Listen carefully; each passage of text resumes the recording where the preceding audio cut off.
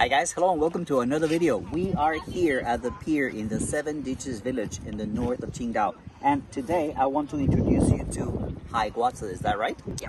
Okay, so we just bought two pounds at 13 RMB per pound, is that correct? Yep.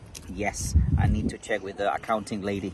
This is how you eat this. What you do is they give you this little tool and you break the, the tip at the back and you just suck it from the bottom.